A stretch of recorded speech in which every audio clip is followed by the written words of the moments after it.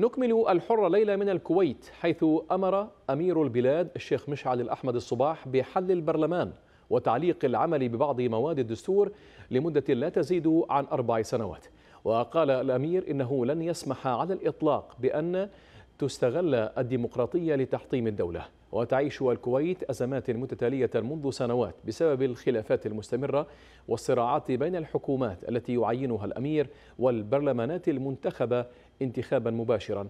الأمر الذي أعاق جهود الإصلاح الاقتصادي وعطل كثيرا من المشاريع التنموية التي تحتاجها الكويت. ماذا وراء قرار أمير الكويت إذن بحل البرلمان وتعليق العمل ببعض مواد الدستور؟ ومن هي الجهات التي يقول الأمير إنها تستغل الديمقراطية لتحطيم الدولة؟ وهل بات النظام السياسي في البلاد بحاجة إلى تعديل لتجاوز تعطل سير الدولة بسبب خلافات الحكومات والبرلمان المتعاقبة. على وقع خلافات مستمرة بين السلطتين التنفيذية والتشريعية أتى قرار أمير الكويت الشيخ مشعل الأحمد الجابر الصباح بحل البرلمان وتعليق العمل ببعض مواد الدستور لمدة لا تزيد عن أربع سنوات ليكشف الكثير عن عمق الأزمة السياسية التي تعيشها البلاد. والحيلولة من, نصل من أن نصل إلى مرحلة الانهيار لذلك أمرنا بالآتي حل مجلس الأمة ووقف بعض مواد الدستور لمدة لا تزيد عن أربع سنوات. يتم خلالها دراسة جميع جوانب المسيرة الديمقراطية ورفع نتائج الدراسة الدراسة والمراجعة لنا لاتخاذ ما نراه مناسبا أمير الكويت علل قراره هذا بانتشار الفساد والفشل في محاربته من قبل مجلس الأمة عازيا ما يجري في البلاد إلى إساءة استخدام الديمقراطية وتدخل بعض النواب في صلاحياته ومحاولتهم فرض شروط عليه. لن أسمح على الإطلاق أن تستغل الديمقراطية لتحطيم الدولة لأن مصالح أهل الكويت التي هي فوق الجميع أمانة في أعناقنا. انتقال صلاحيات البرلمان الذي انتخب مطلع شهر أبريل الماضي إلى الأمير وحكومته يجسد بحسب وكالة رويترز الأزمات المتتالية التي تعيشها الكويت منذ سنوات بسبب الخلافات المستمرة والصراعات بين الحكومات التي يعينها الأمير والبرلمانات المنتخبة. الأمر الذي أعاق جهود الإصلاح الاقتصادي وعطل كثيرا المشاريع التنموية التي تحتاجها البلاد بحسب الوكالة. ويحمل برلمانيون الحكومات المتعاقبة مسؤولية تأخر الكويت عن اللحاق بركب دول خليجية أخرى في المجال التنموي ويرون أن صراعات داخل الأسرة الحاكمة تقف وراء ذلك. وبحسب وكالة رويترز يأمل الأمير مشعل الصباح في أن تسهم خطوته الأخيرة في حلحلة الجمود السياسي الحاصل في البلاد منذ أن قام بتكليف الشيخ أحمد عبد الله الأحمد الصباح بتشكيل حكومة جديدة وهو الأمر الذي لم يتمكن من القيام به منذ الخامس عشر من شهر أبريل الماضي نتيجة امتناع أي من النواب عن المشاركة في الحكومة لتأمين اكتمال تشكيلها وهو الأمر الذي يشترطه الدستور الذي بات بحكم المعلق اليوم. للحديث حول هذا الموضوع ينضم إلينا من الكويت كل من عادل مناع كاتب وباحث سياسي وكذلك محمد الفيلي أستاذ القانون الدستوري في جامعة الكويت. أهلا ومرحبا بكما. أبدأ معك سيد المناع. خطاب وصف بالتاريخي لأمير الكويت الشيخ مشعل الأحمد الصباح. حل فيه مجلس الأمة وعلق العمل ببعض بنود الدستور. برأيكم ما الذي دفع أمير البلاد إلى اتخاذ هكذا قرارات وصفها هو بالصعبة ولكنها ضرورية؟ حياتي لك وللدكتور محمد بيلي ومشاهدين الأعزاء. ما في شك أمير الحقيقة أوضح ذلك بأنه خلال الفترة الماضية مرت الكويت بأوقات صعبة كما وصفها وكان لها انعكاسات على جميع الأصعدة وهذا خلق واقعا سلبيا وجب يعني الأمير يعتقد إنه يعني وجب عليه كمؤتمن على هذه الدولة أن يقدم النصح والإرشاد للخروج من هذه المآزق بأقل الخسائر أيضا م. الأمير الحقيقة ذكر بأنه يعني واجه واجهنا من المصاعب ما لا يمكن تصورها وتحمله. وأنه البعض جاهدا إلى غلق كل منفذ حاولنا الولوج إليه لتجاوز واقعنا المرير. أيضا تناول الحقيقة يعني إنه الفترات السابقة وحتى قبل أيام قليلة لمس سلوكا وتصرفات جاءت على خلاف الحقائق الدستورية الثابتة. وبالتالي يعني هذا أدى إلى أنه يكون هناك يعني اضطراب في الحياة السياسية الكويتية ومن ضمن ما ذكر الحقيقة هو تقديم الاستجواب لمجرد أن يعود أحد الوزراء إلى حقيبة إلى حقيبته وآخر اعترض على نائب آخر اعترض م. على ترشيح البعض ل مثلا من الوزراء متجاهلا أن هذا العمل الحقيقة يخص رئيس الوزراء المكلف من قبل سمو الأمير وأن الكلمة الأخيرة في هذا الشأن الحقيقة لرئيس الدولة سمو الأمير. كذلك أيضا نعم. التدخل في مسألة ولاية العهد وهو حق لصاحب السمو يأتي فيما بعد دور البرلمان في هذا الشأن. أيضا ذكر بأنه وصل التمادي إلى حد لا يمكن القبول بذلك لما تشكله من هدم للقيم الدستورية. م. وطبعا هل يلقى اللوم هنا سيد يعني. المناع؟ اسمح لي. هل يلقى اللوم هنا فقط على البرلمانيين في هذه التوترات الحاصلة في السنوات الماضية بين البرلمانات المتعاقبة وما يقابلها من حكومات؟ أنا أعتقد أن الأمير سبق له وأن انتقد الحكومة. أكثر من مرة وحتى الآن أنا أذكر بأنه انتقد الحكومة يعني وذكر بأنها تصرفات بعض الحكومات التي مررت مخالفات وتجاوزات جسيمة نتيجة للضغط النيابي وكانت تصرفاتها واجتهاداتها غير موفقة. وبالتالي يعني انعكس ذلك سلبا على المصلحة العامة حتى وجدنا من أدين بالخيانة حرا طليقا نتيجة للممارسات الغير مقبولة.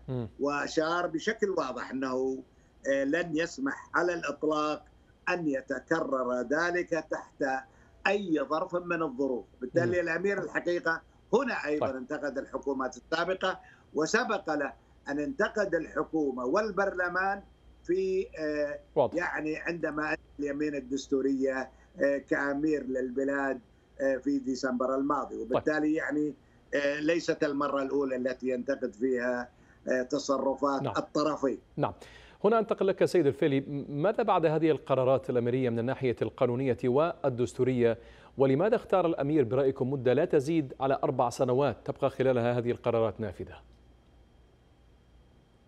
يا سيدي العزيز بالنسبة للمدة نحن أمام الممارسة الثالثة في ال 76 وفي ال 86 كان التعليق مرتبط بمدة. اذا كأنما نحن بصدد استصحاب للماضي. الفكرة هنا وقد طرحت في ال 76 أن الدستور وهو قابل للتعديل في الأساس هو ليس دستور لا يجوز تعديله تم افتراض أن الدستور هو السبب في الخلل بالحياة السياسية م. وبالتالي نحن بصدد فكرة المراجعة والمراجعة هنا كما تم رسمها في الخطاب الاميري وكما يشار لها في وثائق أخرى أنها يفترض أن تتم من خلال لجنة فنية. وهذه اللجنة الفنية يفحص قرارها مجلس الوزراء ثم يصار إلى بحث المخارج بما أن التعليق لم ينصرف للباب الأول وهو الخاص بنظام الحكم والمتضمن الماده السادسة أن الأمة هي مصدر السلطات. نعم. اذا الطريق المرسوم إما أن يتم الرجوع للأمة من خلال استفتاء أو يتم الرجوع للأمة من خلال نظام نيابي أي أن ينتخب مجلس نيابي مرة أخرى. طيب. الملاحظ هنا أيضا نعم. أن التعليق آه، أتى بدون آه، مخارج نهائية. آه، أتى بأربع سنوات قابلة أن تكون أقصر من ذلك. إذا كأنما هناك إشارة إلى أن في المقبل من الأيام أسلوب التفاعل مع هذا المشروع من الممكن يزيد لا يزيد لأن المدة هي القصوى أربع سنوات ولكن نعم. من الممكن أن طيب. يقلل المدة سأعود لك فيما يتعلق ب يعني التغيير الممكن خلال هذه الفترة على يعني النظام السياسي في الكويت ولكن هنا سيد المناع يعني من هي الجهات التي يقول الأمير إنها تستغل الديمقراطية لتحطيم الدولة يمكن الحديث بشكل يعني أوضح أكثر عنها وإلى من يشير أيضا بأن لا أحد فوق القانون وأن الفساد وصل إلى أغلب مرافق الدولة. أنا أعتقد أن الإشارة هي يمكن لأعضاء البرلمان آه، في الفترات السابقة كلها. يعني في حقيقة هناك استغلال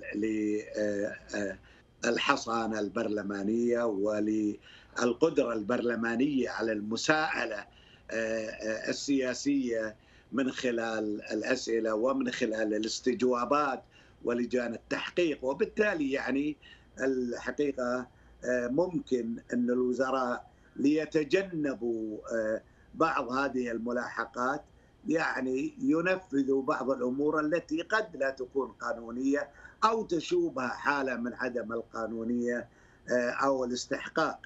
أنا أيضا أنا أعتقد أن يعني هناك قوة اجتماعية لها قدرة على التأثير وربما تدخلت أيضا لتحقيق مصالحها من خلال يعني إيجاد آه، نواب لها أو الضغط على النواب الحاليين أو الموجودين ايا كانوا في الوقت الراهن أو السابق لتحقيق بعض هذه المصالح.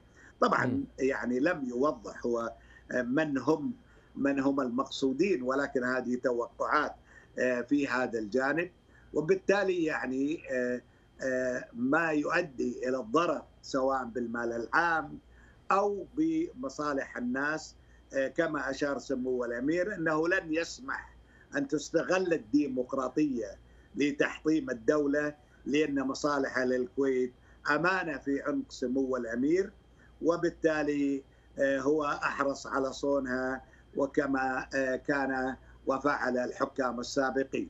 لذلك نعم. أنا أعتقد أن الأمور بشكل عام هناك ظاهرة نعم هناك ظاهرة فساد وهناك تجاوز وبالتأكيد أن سمو الأمير يعني لا يحمل فقط البرلمان وإنما هناك يعني أطراف كثيرة لها علاقة بالفساد وقد لا تكون بعض المؤسسات الرسمية بريئة من ذلك وبالذات الحقيقة بعض المسؤولين القائمين آه، على هذه المؤسسة. طيب آه، بالعودة لك سيد السيد الفيلي بالحديث عن النظام السياسي في الكويت هل هو يعني آه، بحاجة إلى تعديل لتجاوز تعطل سير الدولة بسبب هذه الخلافات القائمة بين الحكومات والبرلمانات؟ وهل هناك خوف على على صورة الكويت المعروفة بأنها رائدة ومتقدمة في المنطقة فيما يتعلق بالحريات والديمقراطية؟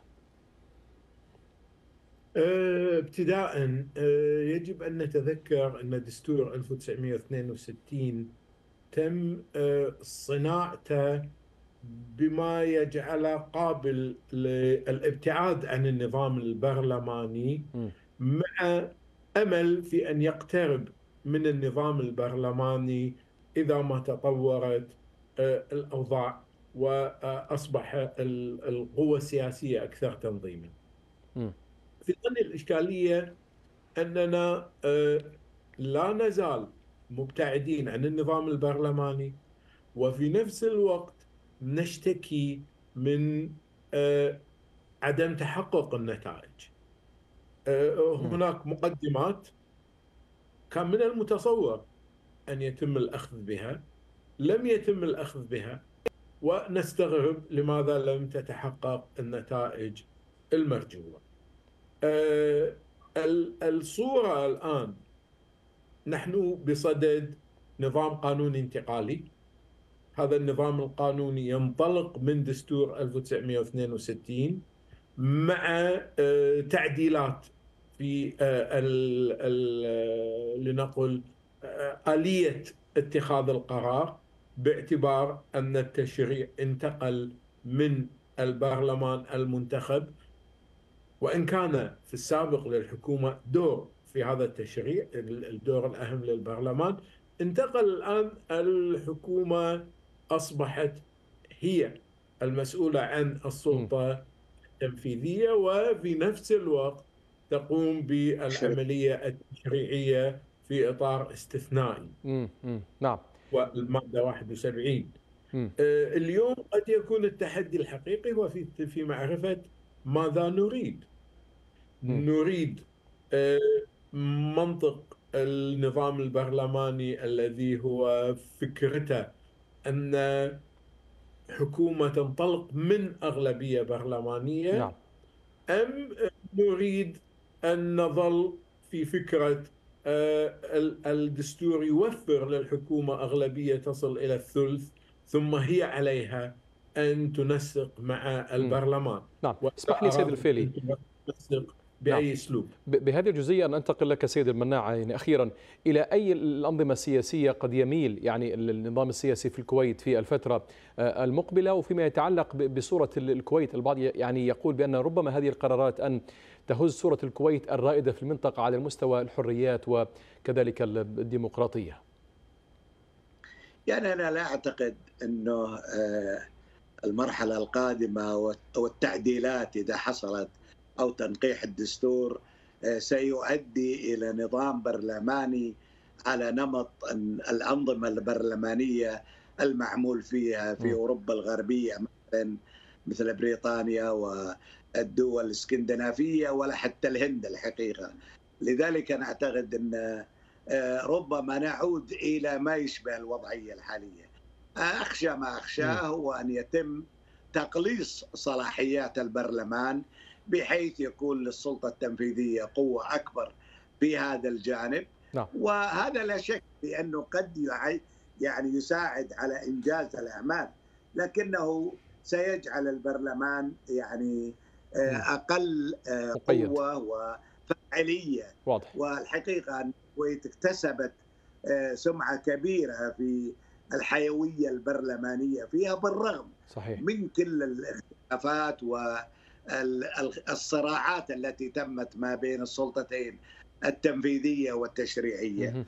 الأمل الحقيقة أن يعني القيادة السياسية تأخذ بعين الاعتبار انه هذه التجربة هي مثال الحقيقة نموذجي في منطقتنا العربية نعم. ولا ينبغي التضحية فيها وتصحيح بعض الأخطاء والتجاوزات صحت هذه القضايا بعد إجراء تحقيقات حقيقية نعم. يعني يعني قد تكون هناك أخطاء أيضا الحقيقة من السلطة التنفيذية يعني لا يستطيع عضو البرلمان ايا كان أن يجبر وزيرا على أن يؤدي عملا غير قانوني إذا أصر الوزير واضح. على آه، الالتزام بالقانون نعم. وبالتالي أيضا حتى المساءلة السياسية نعم. هي الحقيقة دلالة على حيوية نعم. الكويت وأنه البرلمان له دور كبير نعم. في الحياة من الكويت. السياسية كل الشكر لك سيد عايد المناع عدن المقاطعة وكذلك الشكر موصول لك سيد محمد الفيري شكرا لكما